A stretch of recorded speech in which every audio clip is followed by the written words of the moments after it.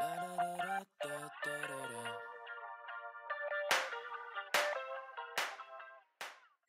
8 a.m. I couldn't fall asleep again.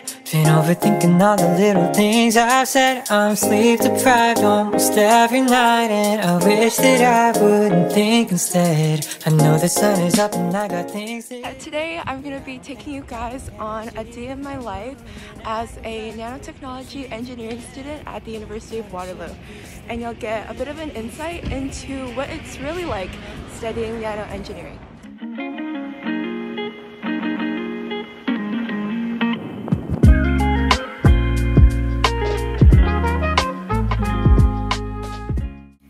I'm starting off the morning by grabbing a coffee for a friend and I. And here we are working on an assignment for our microfabrication class. Welcome to the QNC. This is home to OLS Nanos. It's where we have most of our classes and our labs.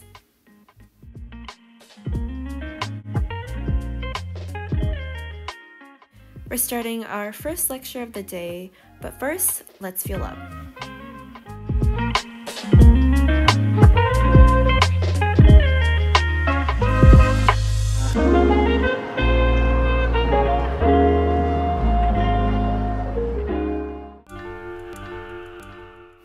First up on today's schedule, we have microfabrication. In this course, we learn everything from fabricating the microprocessors in your computers to other micro devices such as MEMS, microfluidics, and sensors. This course was by far one of the heaviest in terms of course content in our degree.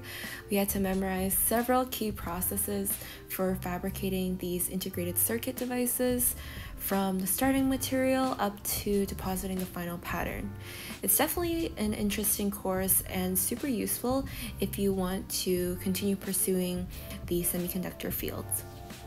This course even has a lab component, so stay tuned for that.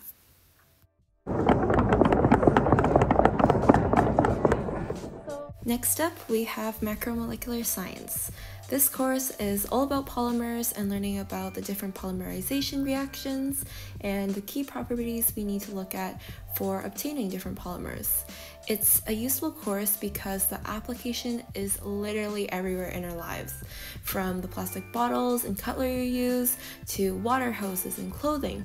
They're all made from the basic building block, which are monomers.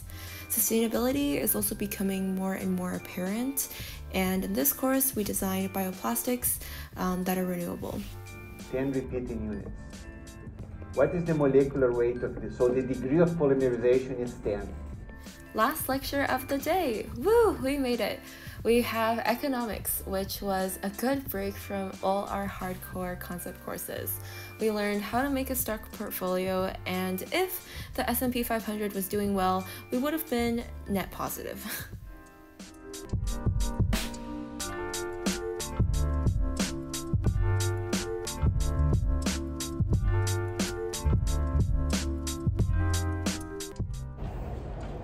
my lab. So this is a clean room, which basically is like a lab that controls the concentration of particles in the air through filters. And we need a highly isolated space for fabricating semiconductor wafers because just a little bit of contamination could disrupt the performance. So my partner and I are fabricating a capacitor made of metal, insulating, and semiconducting material, which is used in MIS field effect transistors that are in your electronic devices. We do a series of steps from wafer cleaning to depositing the films of the dielectric material and metal to etching and then allowing proper exposure from a photoresist to pattern the device. Lastly, we use special instrumentation to conduct measurements on our device to get some properties. And here's a look at our final device. Three hours later, and we are finished with the lab. I'm headed to DC Library, one of my favorite study spots. I usually like to do individual studying for the most part because I find myself more productive. And then later in the night, I'll join my friends for dinner and do some group studying. One tip that I've gathered from my three years of undergrad is reviewing your notes right after a lecture can really help solidify what you took from it. I try my best to do this while it's still fresh in my head.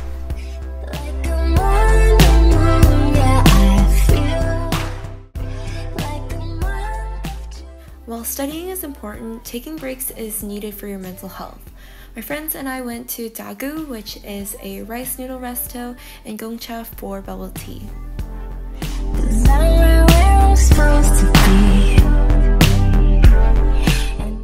After catching up a bit, we went back to tackling a fluid dynamics problem together.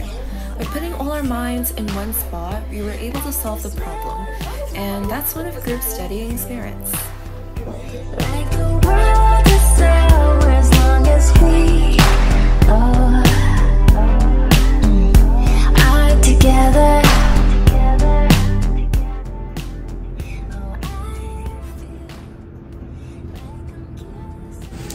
I just got home. It is 10.30 p.m. That is what finals is like when you're a nanotechnology engineer. So I know I'm not